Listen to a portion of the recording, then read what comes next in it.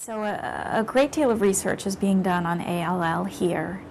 Um, there is a um, clinical trial consortium that comes out of Children's and the Dana-Farber, um, where uh, a number of different clinical trials are being run for children with acute lymphoblastic leukemia, including one main clinical trial for newly diagnosed children.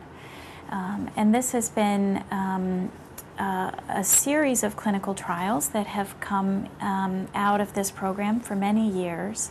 Um, every five years or so, um, with new changes to the treatment um, based on what we've learned from the most recent clinical trials.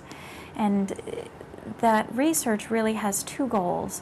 One being to improve the chances of cure for children with ALL, and the other being to um, reduce some of the long-term side effects of treatment and ensure that children have the best possible quality of life through their treatment and beyond in addition to the work that's um, the research that's really being done directly with patients, there also is a, an enormous amount of work that's being done in the lab to understand the mechanisms of leukemia, how it forms, and what kind of new targets there may be for therapy.